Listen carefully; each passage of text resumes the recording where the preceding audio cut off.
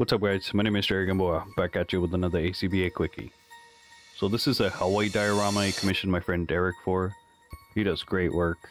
He put little tiny cutouts, working lights, just amazing. I'll put a link in the description for his information if you want to hit him up. For this shot I used Mezco's flash and zoom running down a hallway, but I used tiny barbecue sticks cut so I can get the pose right and try to get them look organically. Hope you liked today's episode.